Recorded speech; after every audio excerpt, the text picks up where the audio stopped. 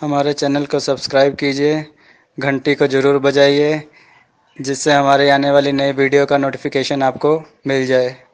ओम नमः शिवाय भक्तों। आज हम ऐसी कथा सुनेंगे जिसमें भगवान शिव ने ब्रह्मा जी का शीर्ष काट डाला था। हिंदू धर्म में भगवान शिव के अवतारों को लेकर काफ़ी चर्चा रही है कि इन्होंने कौन सा अवतार कब लिया और क्यों लिया। इसके हर अवतार के पीछे कोई ना कोई कारण रहा है। आज हम आपको शंकर जी के अवतार से जुड़ी एक ऐसी पौराणिक कथा के बारे में बताने जा रहे हैं, जिसमें भगवान बारह साल तक ब्रह्मा के कटे सिर को हाथ में लेकर घूमते रहे। तो आइए जानते हैं इसके पीछे की कथा के बारे में, जिसके बारे में बहुत ही कम लोगों ने सुना है।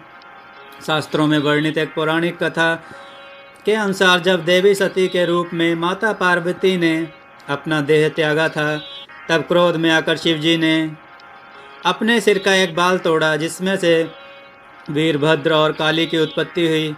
कहते हैं, वीरभद्र शिव का सबसे खौफनाक और भयभीत कर देने वाला स्वरूप था।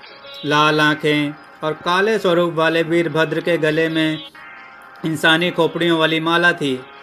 राजा दक्ष की वजह से ही यज्ञ में देवी सती ने अपने प्राण त्याग दिए थे और इसी वजह से वीरभद्र ने राजा दक्ष का शीश काट डाला था। एक बार भगवान विष्णु और ब्रह्मा के बीच वरिष्ठता को लेकर विवाद चल रहा था। तब भगवान शिव ने उनकी परीक्षा लेने की ठानी, लेकिन जब इस परीक्षा में ब्रह्मा ने झूठ का सहारा लिया, तब भगवान क्रोधित होकर भैरव अवतार लेकर ब्रह्मा का पांचवा सिर काट डाला। लेकिन ऐसा कर शिव के सिर पर ब्रह्म हत्या का पाप लग गया और जिसके पश्चाताप करने के लिए शिव ने करीब बारह सालों तक ब्रह्मा का कटा सिर थाम कर भीख मांग कर जीवन व्यतीत किया।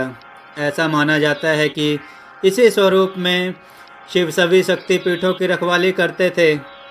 सागर मंथन के दौरान जब शिव ने क्षीर सागर से निकला विष का प्याला पी लिया था, तब विष के प्रभाव के कारण उनका गला जलने लगा।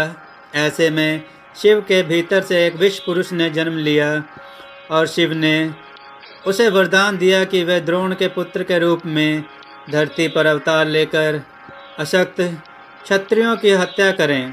कहते हैं कि अश्वस्थामा शिव के इसी रूप का नाम है। पौराणिक मान्यता अनुसार शिव जी ने ब्रह्मांड में अनुशासन बनाए रखने के लिए दुर्वासा के रूप में अवतार लिया था। भगवान विष्णु ने धरती पर भगवान राम के रूप में अवतार लिया और इनकी सेवा करने के लिए उन्होंने खुद हनुमान के रूप में अवतार लिया था। ओम नमः शिवाय भक्तों, अगर आपको यह कथा पसंद आई हो तो कमेंट में ओम नमः शिवाय अवश्य लिखें।